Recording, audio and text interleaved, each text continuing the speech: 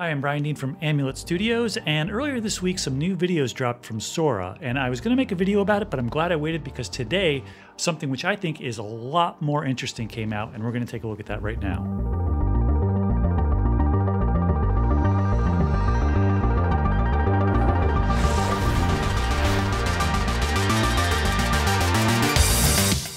So in case you missed it, early this week, OpenAI released some new videos from Sora, which they posted on their website. Since we introduced Sora to the world last month, we've been working with visual artists, designers, creative directors, and filmmakers to learn how Sora might aid in their creative process. So these new videos that came out were made by these visual artists, designers, creative directors, and filmmakers. So this is not just stuff that was made by the people at OpenAI, this was made by actual artists. So we see here a few quotes from these uh, from the people that used it. Sora is at its most powerful when you're not replicating the old, but bringing to life new and impossible ideas we would have otherwise never had the opportunity to see.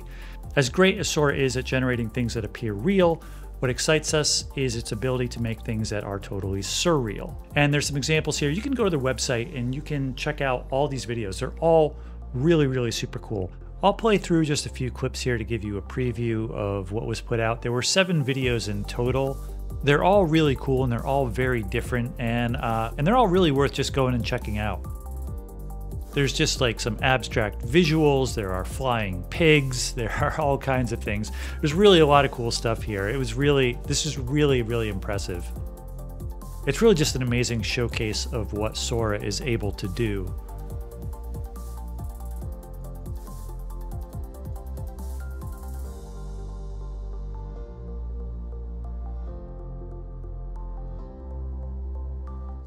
Now that was really cool, and all the videos that were posted earlier this week were really cool. But what I found really interesting was the video that I saw earlier today, and that was a video put out by the people over at Shy Kids talking about how they used Sora and the process they used to make their short film, Airhead. Shy Kids is based in Toronto. It's a multimedia production company that utilized Sora for their short film about a balloon man.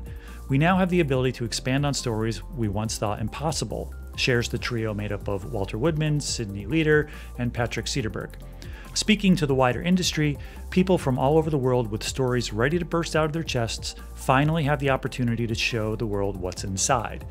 Now, let's just watch the video that they posted today. My name's Walter. I'm a director at Shy Kids. I'm Sydney. I'm a producer at Shy Kids. My name's Patrick. I'm one of the directors here at Shy Kids, and I help put together our first experiment with Sora called Airhead. If you haven't heard, Sora is a brand new text to video AI tool and it made us feel like our head was just expanding with ideas. So we wrote a quick script about this man with a balloon for his head. How do you maintain a character and look consistent, even though Sora is very much a slot machine as to what you get back? And it's not as easy as just a magic trick, type something in, get exactly what you were hoping for what ultimately you end up seeing took work, time, and human hands to get it looking semi-consistent. Be that through the curation, the script writing, the editing, the voiceover, the music, sound design, color correction, all the typical post-production stuff. We've always embraced new technologies. Using Sora definitely opens up a lot more possibilities, especially with indie film crews working on low-budget projects, which oftentimes I am. Given the opportunity to experiment with it, my personal goal was to highlight the optimism that can be found in it. Even with a technology that some might deem as cold and impersonal, you can still bring your human intuition with storytelling into it and create something that works. No, I think Airhead is figuring out life and feels a little bit different from everybody else, but ultimately learns to embrace those differences. And I think that filmmaking is all about perspective. It's all about who's coming from a unique place. Where does he go next? That's a great question. What I found really interesting was this behind the scenes look, and I'm really grateful that the people over there at Shy Kids were able to share their process with us so that we could see how this might affect filmmaking in the real world and what the future with these tools might look like. So it sounds like uh, the videos that they used didn't come straight out of the box. They didn't come straight from Sora and then just go straight into the film. It wasn't like they just typed in a prompt and out came this video. There was still a lot of manual labor, there was still a lot of work that went in, they still had to adjust the clips, they still had to make sure that it fit the objective and the vision of the film that they were going for. And that's kind of a, a very important point to make. Right now, with all the AI tools that I've been using, one of the things that you really don't have right now is that that level of control that you really do need. Um, in the VFX and animation world and in feature films, you everything uh, about making a film is geared towards having complete total control over everything that's on screen, uh, especially VFX and animation. Um, there's very elaborate pipelines, uh, really powerful software. All of it is geared towards giving you absolute complete total control over everything that's on screen down to the pixel and that's because when when you're making feature films when you're when you're trying to create something you have an artistic vision and you're making decisions. Everything is done with intent. And so with this video they had a vision they had intent.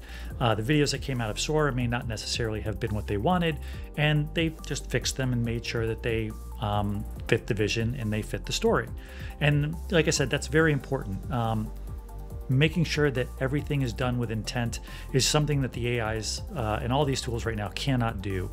Another thing that we don't really know is we don't really know how much time it takes to render these videos. We don't know if it takes 10 minutes, if it takes 30 minutes, 60 minutes, an hour, a day. We don't really know. We also don't know how much it costs. I think it's pretty safe to say that this won't be free, but what exactly the cost is, well, we don't really know. So while there's a lot of things that we don't know yet about uh, how Sora is going to work, and we don't really know a lot of the details about how the images are made and how long it takes and how much it costs, I think one thing is clear. This is a very, very exciting technology, and there is an awful lot of potential here. What this tool is going to do is it's going to open the doors to independent filmmakers and people that don't have the resources of the big studios, people that don't have big budgets, they don't have armies of artists, something that empowers people to do something that was once beyond their beyond their reach I think that's really exciting. And that's why I think this technology is, is really exciting. So anyway, that's just what I think about all this. Let me know what you think down in the comments below. And if you like this video, then please hit that like button. And then better yet, it would be great if you would subscribe to the channel and then hit the notification bell so that you won't miss any future videos. So if you like this video we made, smash the like button, don't be afraid subscribe to the channel too. We really appreciate